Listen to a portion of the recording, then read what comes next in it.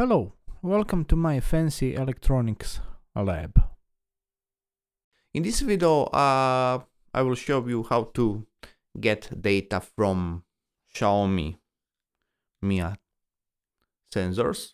These uh, simple sensors will measure temperature and humidity and usually they use BLE Bluetooth low energy protocol to send this data to smartphone but I don't want to use smartphone I want to show this data on ESP32 device and in this case I have M5 stick C plus 2 and I will also show these data on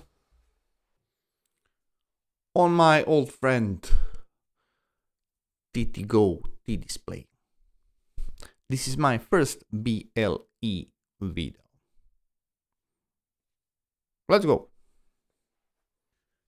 So I have four of these. Actually, I have more of them. They are in different rooms in my house. But for this project, I wanted to show data from four sensors on this tiny display.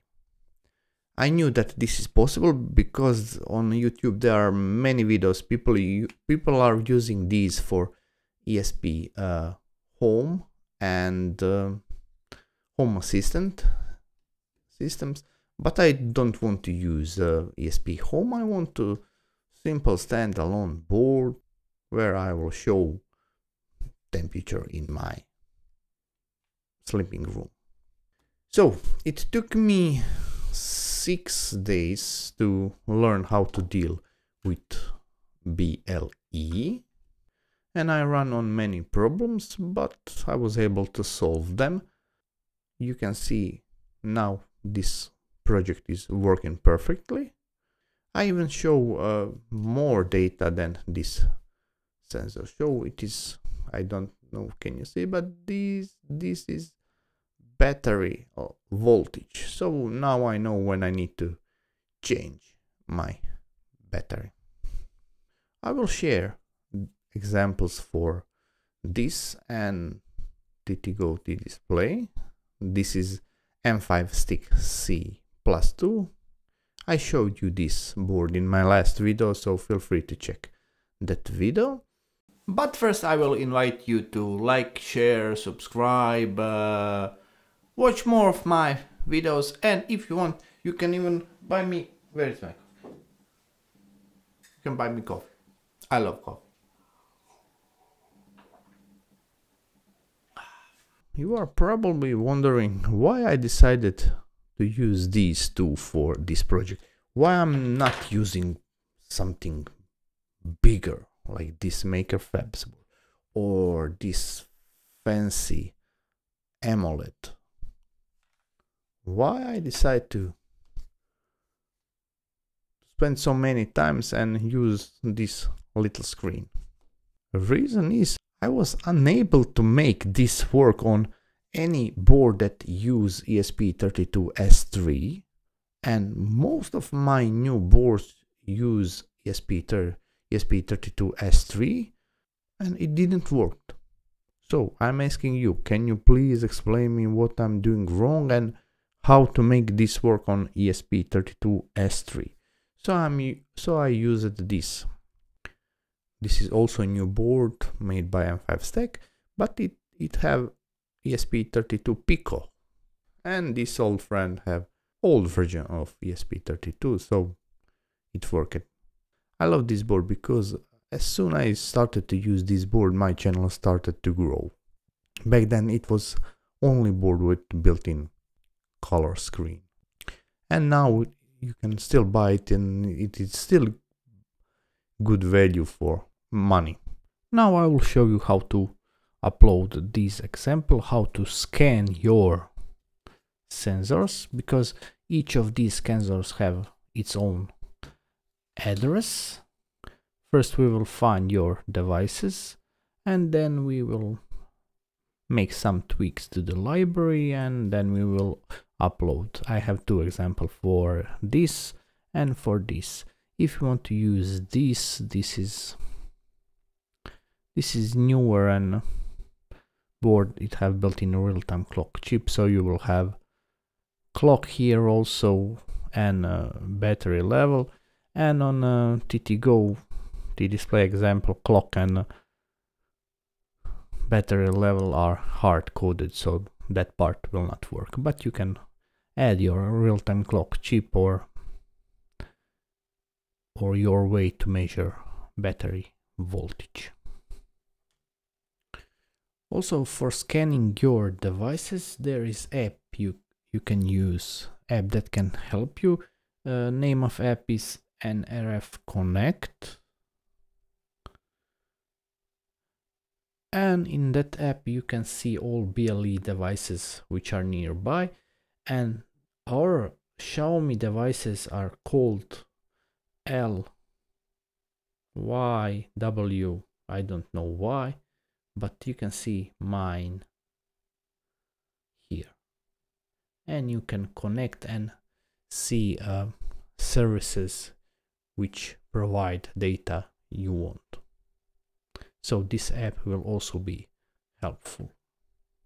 For this project you will need nim ble arduino library. You can find link in description.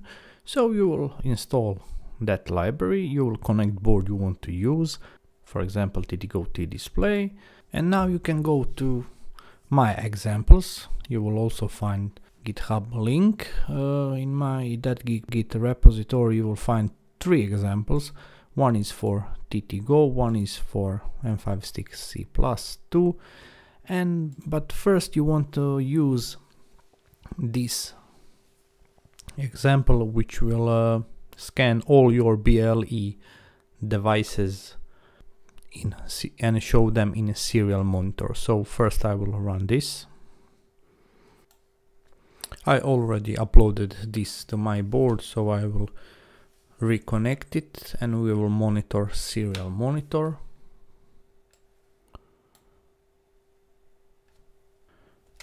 And you can see these are mine. You won't find these devices. I don't know why they have name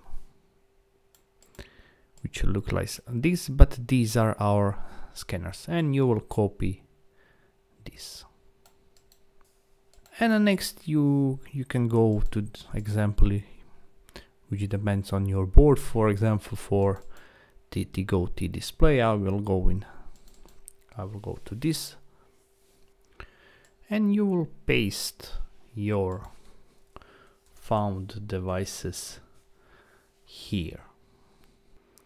And you will need to figure out which one goes to kitchen floor outside and or bedroom kids room. You can change these names of these names of rooms so if you find out that this one is in your kitchen, you will copy this and place on first place. So our devices are here. One, two, three, four, and these are names. So you need just modify these two lines. Also, you will notice if this works, you will notice that you you are getting uh, you are getting data only from a first three device. This is because number of default number of BLE connection in this library is 3 so you will need to edit it. that you will go to you will go to your nim BLE library src and here you'll find this nim config.h file. You will open this. Sorry.